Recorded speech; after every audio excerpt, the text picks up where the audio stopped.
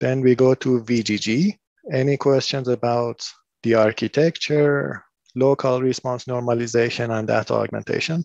So the idea of VGG was you can work with three by three convolutions.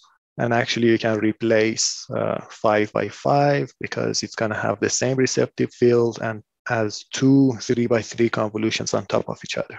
So the idea is that rather than having a bigger kernel, you can make your network deeper. And these are very deep convolutional neural networks. And these architectures are, you use them in practice a lot. Even the pre trained ones, you're going to use them. For instance, VGG 16, VGG 19. Any questions about LRN and data augmentation? We are going to come back to data augmentation a lot. These neural networks usually have a high capacity, a lot of parameters. The input data, one way to regularize is to take a look at your input data and augment it.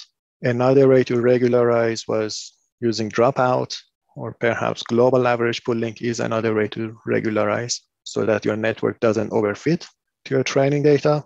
You can uh, regularize even at the softmax level. We are going to see that later on.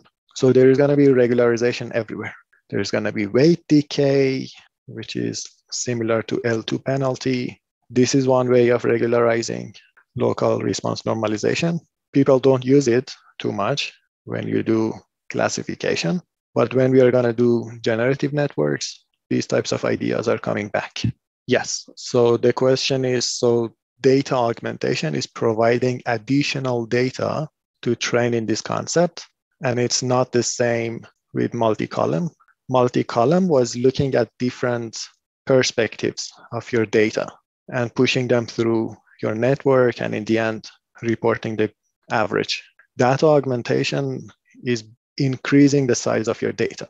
Let's say you have one single data point, one single image, and then you look at different crops of it, maybe five crops. The one on the left, the one on the right top, right below, left below, and the one at the center. These are five crops. This is as if you're translating your image. And we know that the class shouldn't depend on translations. It means that a single image, we can turn it into five images. In the end, if your initial data set had a size of 1 million, after all of these crops, it's going to end up being 5 million data points to work with. So yes, it's different from what you were seeing with uh, multi-column. The question is, are there methods of data augmentation that make the network more robust during testing when compared to others? That's a great question. And actually, we are going to investigate data augmentation throughout the course through the means of different papers. And then when we go to AutoML, automatic machine learning, you can actually learn good data augmentation techniques based on the, per- based on the performance on your validation data. So you can think of data augmentation as another hyperparameter that you can actually learn.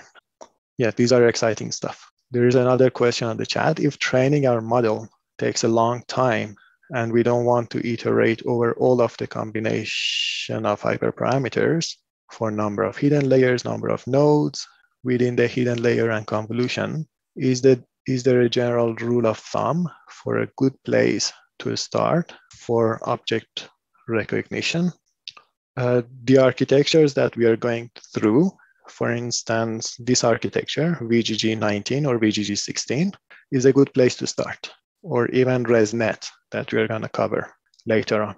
We can start building up upon them. And you're right, you're not going to have enough resources to brute force through all of the possibilities. But as, as you learn more and more, and as you code more and more, and as you write, as you do your assignments more and more, you're going to get more and more comfortable with how to design your neural networks. So deep learning is both an art and science. The way you design your architecture could sometimes be an art. You need to have some engineering mindset. Does data augmentation ever cause overfitting issues because it is reusing data in some sense? It's actually to prevent overfitting the more data you have, the less your model is prone to overfitting. And the role of that data augmentation is to increase the size of your data.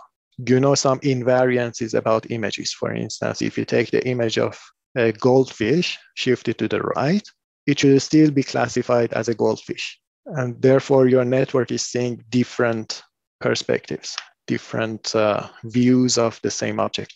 So it's actually designed to prevent overfitting. It's designed to do regularization.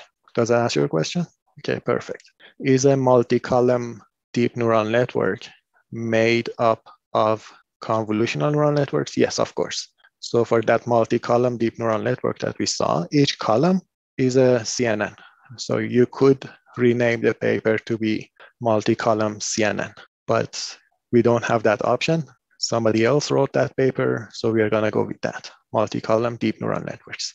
But the idea is general. It doesn't have to be a convolution. It could be a recurrent. It could be fully connected. It could be transformers. And you can have multiple column, column of them. That idea is really useful when you want to use more GPUs rather than only one on your computer. And is that a feasible architecture to start with? If you have multiple GPUs, yes. Okay. Any other questions about that augmentation, normalization, and VGG? So you're going to hear VGG a lot. So it's a good idea to know what is the architecture like. So they're using a lot of three by three convolutions and they are not using global average pooling. They're just flattening and then using fully connected.